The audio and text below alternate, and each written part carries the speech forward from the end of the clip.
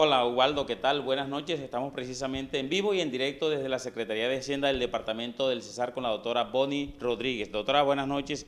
Bienvenida a RPT Noticias. ¿Cómo va el tema de recaudo de impuestos, el comparativo del año 2015 con el 2016, teniendo en cuenta lo que nos acaba de decir a este micrófono que hay algunas novedades?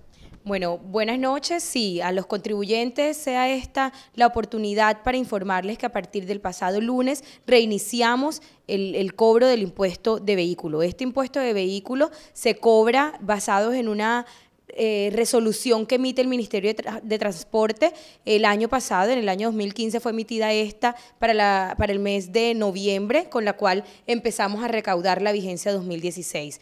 Por algunas inconsistencias que tenía la resolución, esta fue demandada y, la Corte Suprema falló y ordenó la suspensión del, pago de los contribuyentes del impuesto de vehículo.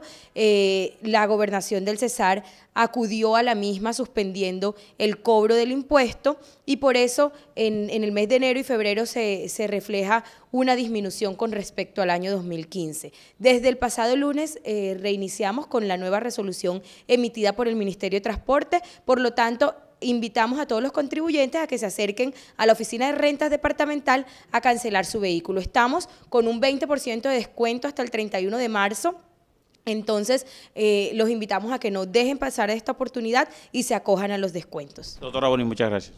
No, con mucho gusto y, y acérquense a pagarlos, estamos esperando. Ok, Ubaldo, entonces esta es la información que se genera esta hora en vivo y en directo desde la Secretaría de Hacienda del Departamento del Cesar. Siga usted con más RPT Noticias.